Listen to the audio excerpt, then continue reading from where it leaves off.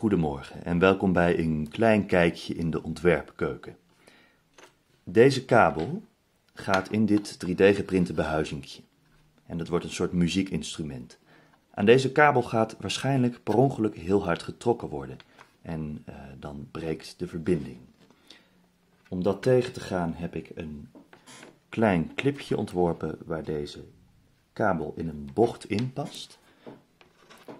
De andere helft is symmetrisch, die past daarop en die klikt als het goed is. In de goede oriëntatie klikt die vast. Dit past in een uitsparing in het frame en op deze manier als eraan getrokken wordt door de bocht die de kabel maakt, wordt de druk uitgeoefend op het frame en niet op de kabel. Dames en heren, dit was een kort kijkje in de ontwerpkeuken van Simon.